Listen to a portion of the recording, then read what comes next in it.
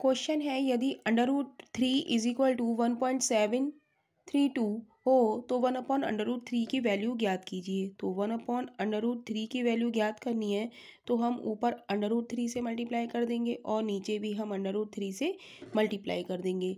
तो ऊपर हमारा बचेगा अंडर रूट थ्री और नीचे बचेगा हमारा अंडर रूट थ्री की अंडर रूट थ्री से मल्टीप्लाई करेंगे तो क्या आ जाएगा? थ्री तो किस तो ये हो जाएगा हमारा अंडर रूट थ्री की वैल्यू हमें कितनी दी है? One point seven three two upon three तो वैसे ही हम इसको सॉल्व करते हैं। पॉइंट हटा के हमने थाउज़ेंड बढ़ा लिया और one seven three two upon three cross one thousand तो वन सेवन थ्री टू को हम थ्री से डिवाइड करेंगे। तीन पंजे पंद्रह, दो बचा तीन सत्ते इक्कीस, दो बचा पर दो उतारा, तीन सत्ते, इक्कीस, एक बचा। तो हमारा फाइनली आ गया five seven seven one seven three two को।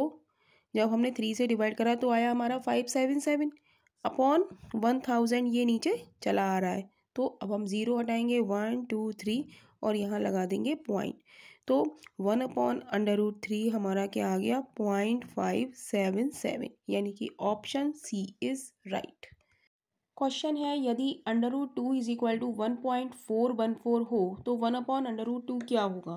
तो दिया है हमें one upon under root two की वैल्यू हमें पूछी है। तो हम क्या करेंगे? अंडर रूट टू से ऊपर मल्टीप्लाई करेंगे अंडर रूट टू से नीचे मल्टीप्लाई करेंगे।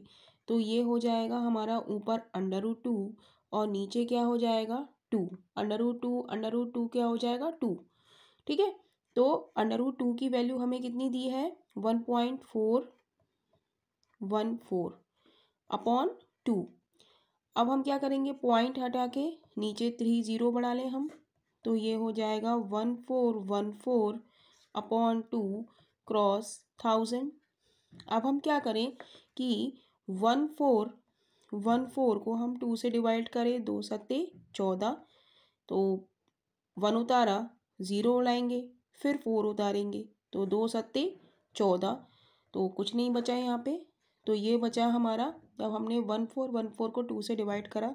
तो ये आया हमारा seven zero seven upon one thousand ऐसे ही।